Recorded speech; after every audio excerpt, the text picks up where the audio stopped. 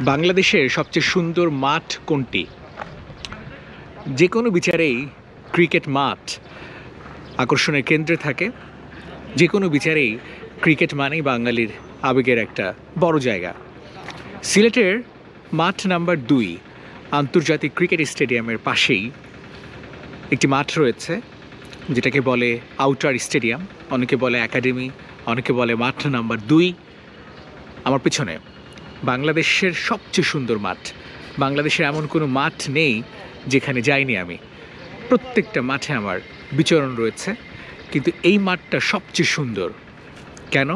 দেশি ঘাস বলে, খুব ভালো উইকেট বলে, বা দুই পাশে পাহাড়ি টিলা বলে, এগুলো আছেই।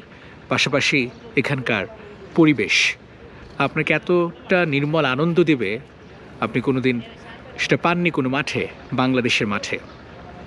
মিরপুরে আপনি গরম পাবেন, শীতে কুকড়ে যাবেন, কিন্তু এখানে আপনি চিল করতে পারবেন, আপনি উপভোগ করতে পারবেন।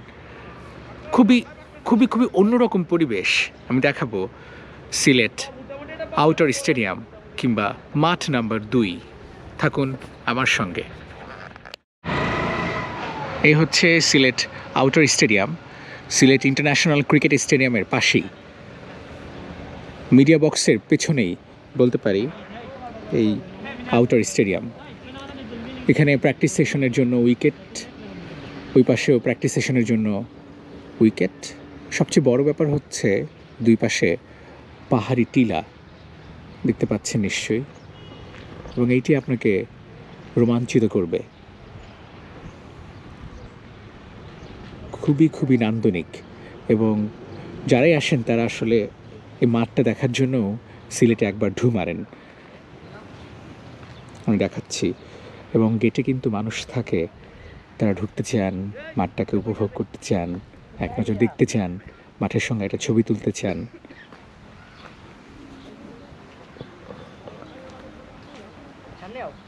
চারপাশে রেলিং দেয়া, অর্থাৎ এই রেলিংয়ের পাশে দাঁড়িয়ে আপনি ম্যাচটা দেখতে পারবেন। ওপেন গ্যালারি এই গ্যালারিতে যে কেউ চাইলে বসে নিচে দাঁড়িয়ে খেলা উপভোগ করতে পারেন। একদম যেটা আমরা দেখি নিউজিল্যান্ডে কিংবা অস্ট্রেলিয়ায় কিংবা সাউথ আফ্রিকায়, যেরকম পরিবেশ, যেরকম কন্ডিশন সেরকমই। এবং আজব বিষয় হচ্ছে, যেসব মাঠে আমরা দেখি বাহিরের ঘাস, আর এখানে পুরোটাই বাংলাদেশের ঘাস, দুর্বা ঘাস বা তার থেকে একটু ভালো মানের ঘাস ব্যবহার করা হয়েছে। অর্থাৎ আমাদের ঘাসে আমাদের মাঠ। এইটা আমাকে বেশি রোমাঞ্চিত করেছে। এখানকার পিচ কিউরেটর তিনি ভারতীয় এবং তিনি সত্যিই অনবদ্য। কেন অনবদ্য? কেন অপূর্ব? শুনলাম অনেকের কাছ থেকেই। তিনি যে পরিশ্রমটা করেন তা মাঠকর্মীদের চেয়ে বেশি। এবং এই জায়গাটা বড় ব্যাপার হচ্ছে, পাল্টে দিয়েছেন তো উনি, কিন্তু আমাদের মাঠকর্মীরা, বিশেষ করে বাংলাদেশের মাঠকর্মীরা যে পরিশ্রমটা দিয়েছেন, যে সেবাটা দিয়েছেন, তাও আবার অসাধারণ, অবিশ্বাস্য। এইটা কয়েক বছর আগে, অর্থাৎ দু হাজার সতেরো আঠারো, উনিশ সালেও, উনিশ সালের প্রথম দিকেও ধুধু প্রান্তর ছিল, মরুভূমির মতো ছিল। আমি এখানে এসেছি, এখানে দাঁড়িয়ে থাকাও যেত না। এতটাই বালু ছিল চারপাশে। পাহাড় কেটেই তো এটা স্টেডিয়াম করা হয়েছে। কিন্তু এখন দেখুন কি পরিবেশ। মনে হয় একটু দৌড় দিই মাঠে, একটু শুয়ে থাকি, একটু ঘুমাই, কত কিছু ইচ্ছে করে। মাঠকর্মীদের সঙ্গে কাজ করছেন কিউরেটর, আমি একটু জুম করে দেখাতে চাই। ওই পাশে মিডিয়া বক্স তো রয়েছেই, পাশাপাশি ড্রেসিং রুম রয়েছে, দুই পাশে দুই দলের ড্রেসিং রুম এবং সবসময় গ্রাউন্ড স্টাফরা কাজ করেন কিউরেটরের সঙ্গে।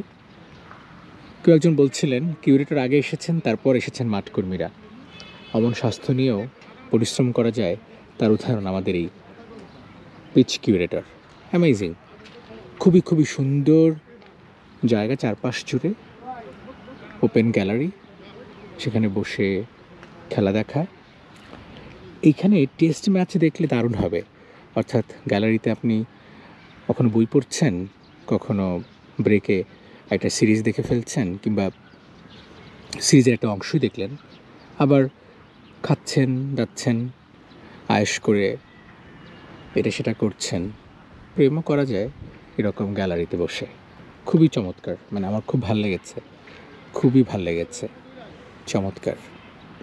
সো এই হলো আমাদের সিলেটের আউটার স্টেডিয়াম অনেকে বলে আন্তর্জাতিক স্টেডিয়াম দুই। যদিও স্বীকৃতি পায়নি আন্তর্জাতিক, তবে যে মান, যে স্ট্যান্ডার্ড যে আবহাওয়া, তাতে কেন পাবে না, এটাই তো বড় প্রশ্ন।